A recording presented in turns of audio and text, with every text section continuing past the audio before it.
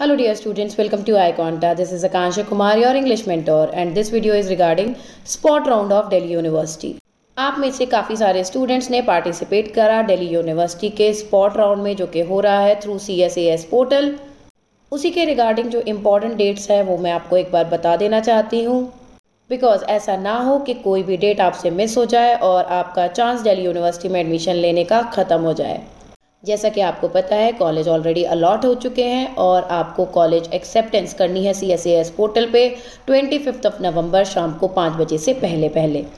Once you are done with college acceptance next step है college verification का, जिसको आपको करना है पूरा ट्वेंटी सिक्स ऑफ़ नवंबर शाम को पाँच बजे से पहले।